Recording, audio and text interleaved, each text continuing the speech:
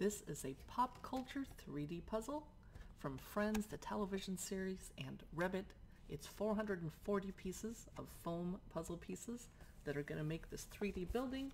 You're going to make Central Perk and the building that the friends live in. And it looks like it comes with a taxi cab and the friends standing around. It's for ages 14 and up. Let's take a look. I have not built this yet. Saving it for a rainy or snowy day. It comes with instructions, huzzah, and then foam pieces. This looks pretty hard and time consuming, which is exactly why I bought it. I have some snow days to kill time, and this will be fun, and I'm a big fan of Friends.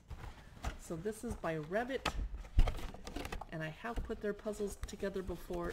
It's a little frustrating sometimes, but I like the end result. Thanks for watching. I hope you found this preview helpful.